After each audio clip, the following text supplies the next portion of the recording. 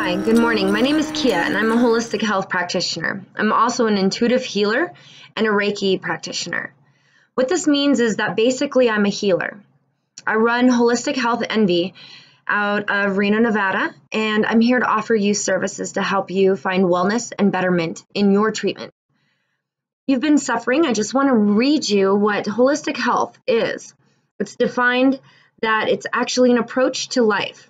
Rather than focusing on the illness or the specific parts of the body, this ancient approach to health considers the whole person and how he or she interacts with his or her environment. It emphasizes the connection of mind, body, and spirit. What this means is that whatever you're suffering, my job as a practitioner is to help guide you and walk you through with support to find betterment and wellness. This means nutritional supplementation, detoxifying your environment and your body, certain aspects of holistic approach that you may not have even thought about.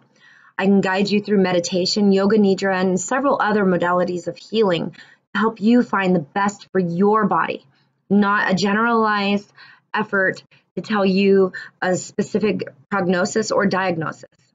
With my clients, I like to take it very personal I believe that sometimes we just need the support. There's a lot of information out there on the internet and it can get overwhelming. The reason I know this is because I've been through it. I went through multiple doctors as I was getting ill and sicker and sicker.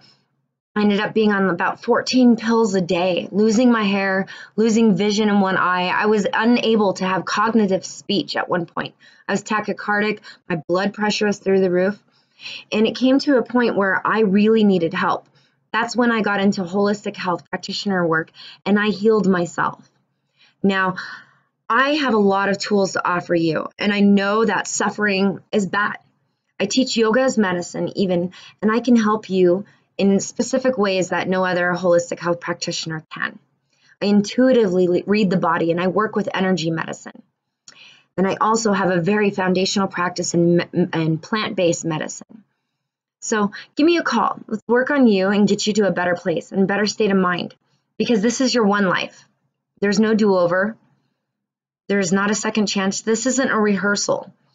And I believe that it's your birthright to have joy and bliss and all of it, even further than you could probably possibly imagine at this point.